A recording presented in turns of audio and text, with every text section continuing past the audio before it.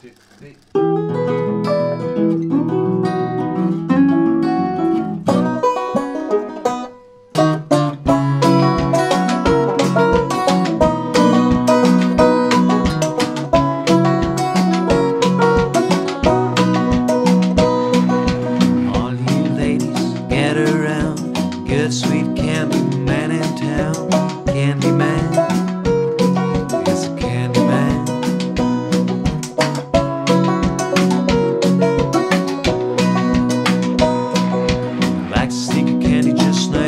alone, as fast as a hawking through his corn.